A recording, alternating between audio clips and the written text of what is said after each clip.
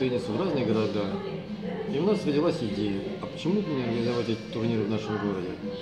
Вот так началась наша деятельность по продвижению настольного тенниса в городе Конакове на площадке спортивного комплекса «Олимп», в котором я работаю тренером-преподавателем.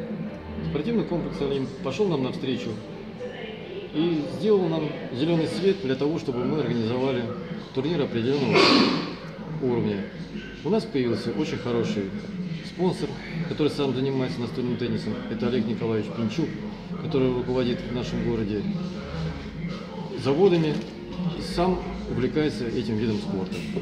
Как видите, с помощью наших спонсоров, которые тоже помогают в продвижении настольного тенниса, мы стали приглашать друзей, которые откликнулись на наше предложение и начали приезжать к нам в город. С каждым разом спортсменов становится больше и больше. И это очень радует нам.